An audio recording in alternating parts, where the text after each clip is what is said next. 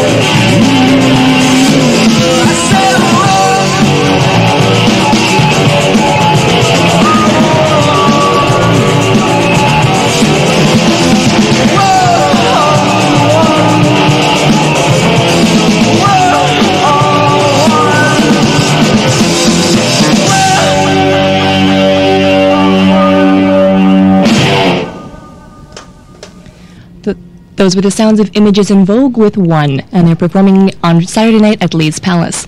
Joining me in the studio now is singer Dale Martindale from the band Images in Vogue. Hi, Dale. How you doing? Pretty, pretty good, pretty good. Good. A little warm. A little warm in here. We were just talking about the fact that the studio doesn't have much room, but what can you do? It is community radio after all. So, so I understand you guys just got back from um, from a gig this weekend playing it up in Cottage Country. Yes, we were. How did that go? Cleaned all the rich kids. Yeah. It was pretty good. They they, they throw large amounts of change, like, and uh, the weather wasn't that great, but uh, the gig went well. There was about 1,200 people there, Mm-hmm. and uh, first gig for our new guitar player Tom, and uh, he fit in pretty well. And how long has he been with you for now? Um, well, we've been rehearsing with him for a couple weeks, That's so really that was actually his first gig with us, That's and really uh, it went pretty good. Yeah. He plays in a local band called Cottage Industry. Mhm. And, uh, And he's still playing with Cottage Industry and you guys as well. as far as I know, Busy guy. he runs a restaurant too. Very busy guy. Yeah. Hoping to get a few free burritos out of him. It's sort of part of the deal of letting him join the band. Sounds good. Sounds good. Good deal. Well, let's talk about the music we just heard, Dale. That's um. Uh, it's a new is- one. This is probably a, a you know a, a scoop here for CIUT. I don't think that's probably been played anywhere before. No, But my mother's um, heard it, but that's it. Let's talk about your your music and the, change in sound that's happened over the last few years with Images in Vogue. Well, it's been a lot of years, so uh, I guess you're going to get a lot of change there.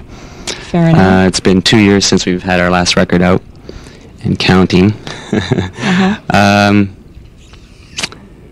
Joe and Joe's, Joe's approach to writing has been a little different. A few different influences, I suppose. Uh, I think time's a big factor with that. Uh, I think that's probably the biggest thing.